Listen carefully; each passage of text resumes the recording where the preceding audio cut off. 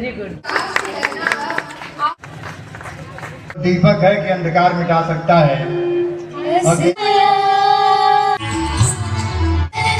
पूरे देश में पूज्य बापू की और स्वर्गीय लाल बहादुर शास्त्री जी की जन्म जयंती हम मना रहे हैं। न्याय से ठीक एक सौ उनचास वर्ष पूर्व मोहनदास करमचंद गांधी गुजरात में पैदा हुए। हरि जी ने अपने भाषण में कहा कि उनको महात्मा किसने बनाया? मैं हरि जी से सहमत नहीं हूँ कि गुजरात ने बनाया।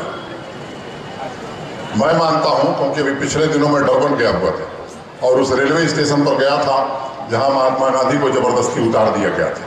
तो मैं मानता हूँ कि मोहनदास मोहनदास करमचंद गांधी हिंदुस्तान या गुजरात ने पैदा किया, महात्मा दक्षिण अफ्रीका ने बनाया, ये मैं मानता हूँ। स्वतंत्रता और स्वच्छता में बापू को स्वच्छता ज़्यादा प्रिय थी। उनका देश जब बापू की डेढ़ सौवीं जयंती मनावे।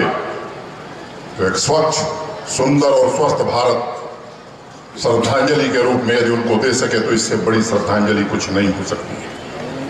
हर बार एक बात कहता हूँ कि बच्चों में ज़्यादा बदलाव आया कई घटनाएँ मैंने अपनी आँखों के सामने देखी।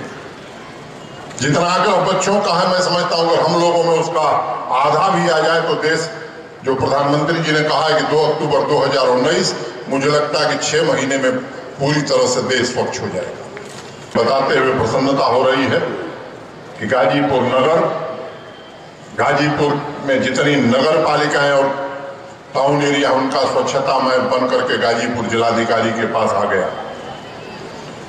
और आने वाले एक महीने के अंदर गाजीपुर के हर गाँव का स्वच्छता मैप भी गाजीपुर में उपलब्ध होगा।